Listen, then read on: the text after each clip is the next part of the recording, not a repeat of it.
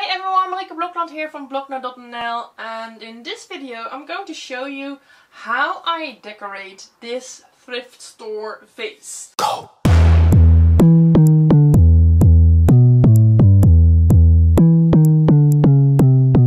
Hey, Marieke Blokland here from bloknote.nl. Welcome to my YouTube channel. I bought it for 2 euro at a thrift store. It's pretty big and sturdy and the, the inside is a bit dirty.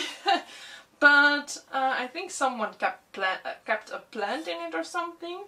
But yeah, I'm really looking forward to decorate this for my new home. I'm first going to add a layer of white gesso on it.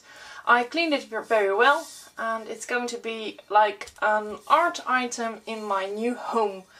Um, I think that there are so many uh, objects mass-made objects in this world by big stores and um, well there are so many thrift store finds or objects in your house that you can easily redecorate yourself and give it a nice makeover that is really in your style. And that way you can make uh, unique art pieces for your home and um, yeah you can show yourself in your own home and uh, I think that's more fun than all those mass-made items out there. So in this video is uh, to inspire you to redecorate uh, thrift store finds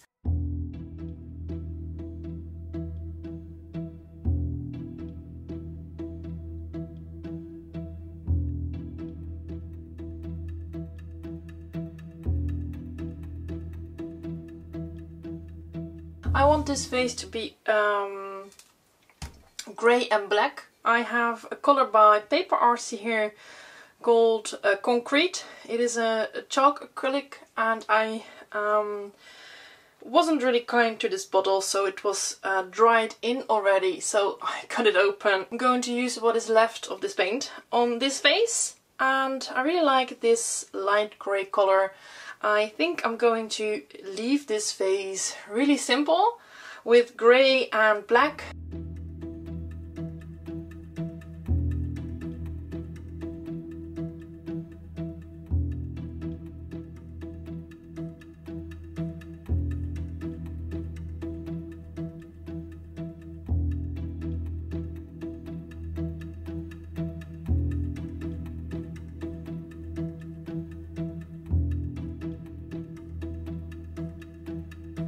Funny, I've now made six, oh sorry, put the brush in my mouth. Six choice. I tend to put this brush in my mouth um, because it's so long and uh, I don't want to make blotches on the table.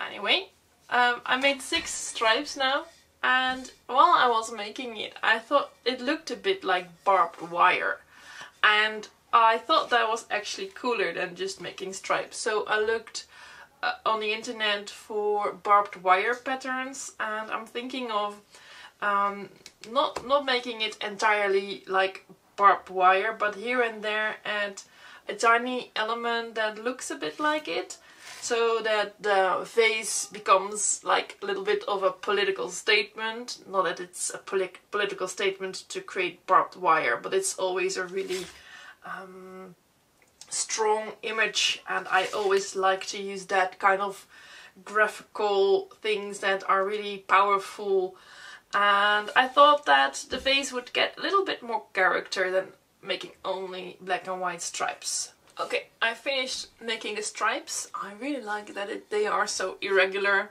and I also made some drippings by accident and I actually think that's okay. Um, so I'm adding some barbed wire accents now here and there.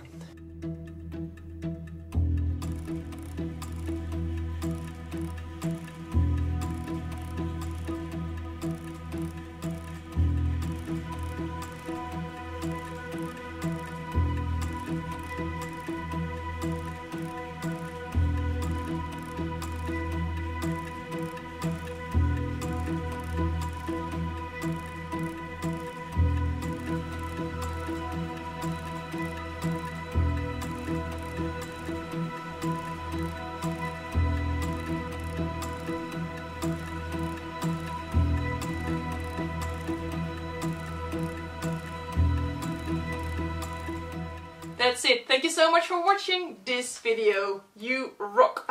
Please support me by liking this video and subscribe for more quirky art inspiration and raw self-expression. Ciao!